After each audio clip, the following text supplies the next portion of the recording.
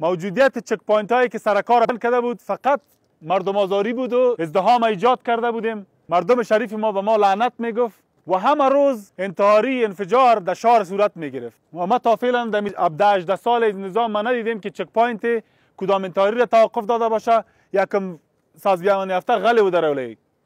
په جز د دې چې موږ خپل پولیس او د ملت ترمنځ واټن پیدا کړی و،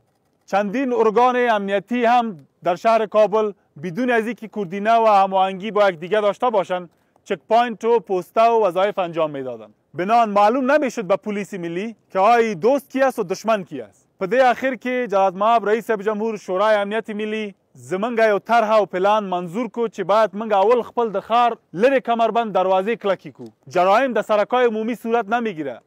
جرایم د کوچه و پس کوچه و در در قریجات ما صورت میگیره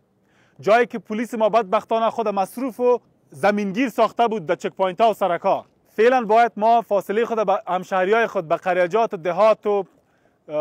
دهکده های خود باید نزدیک بکنیم رابطه خود باید داشته باشیم.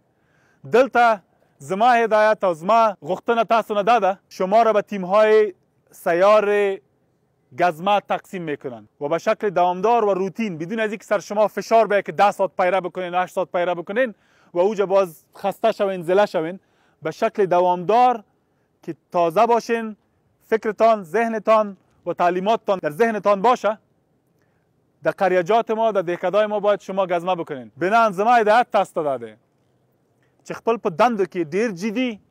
ډیر مسلکي او ډیر هوښیار باید اوس د پهلوی ازي کې ما باید مجرمین تروریستان مورد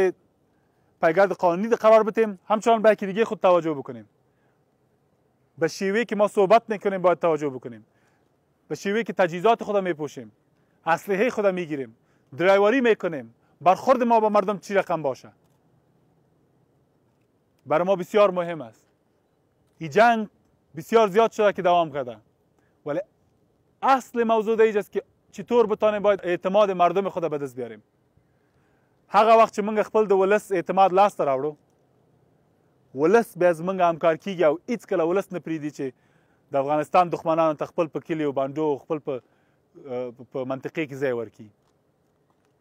په ټول افغانستان کې موږ نشو کولای امنیتي او دفاعي ځواکونه ځای په ځای کړو موږ باید دغه دیش میلیونه نفوس خپل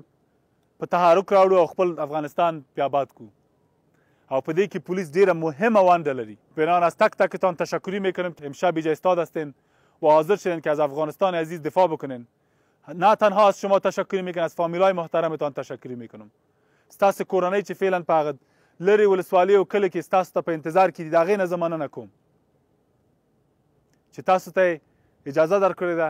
تاسو ته شاباسي درکړې او په ملای ته پولې چې زه زوی ورشه افغانستان ته خدمت وکړه د دنه بل غټ افتخار نشته دی د دنه بل غټ عبادت بل نشته دی که ما امروز استاد هستیم با یونیفرم تجهیزات و اسلحه ما در دست ماست و از ملت و مردم خود دفاع میکنیم هر کدام ما باید در کالای خود باید جای نشیم که کلانترین افتخار هستی برای ما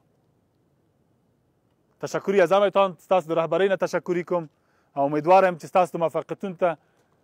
او دستاوردونو ته یک جهان تشکر قومندان صاحب تاسو نه مننه ستاسو د رهبریت نه مننه کوم سلامت اوسئ